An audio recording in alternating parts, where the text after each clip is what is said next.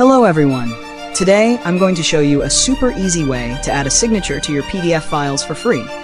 Ready to get started? Let's dive right in. First, open your browser and search for www.sejda.com.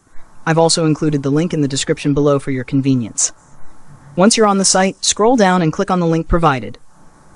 Next, click on the Upload PDF File button and select the file you want to sign.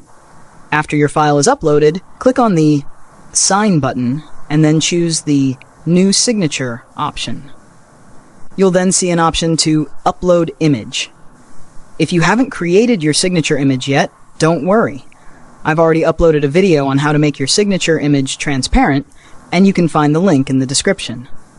Once you have your signature image ready, upload it and drag it to adjust its position in the PDF. When you're happy with how it looks, simply click on Apply Changes. Here's my final PDF file. Now, just click on Download, and you're done. Thanks for watching. If you found this tutorial helpful, please give it a thumbs up and subscribe to the channel for more tips and tricks. See you in the next video.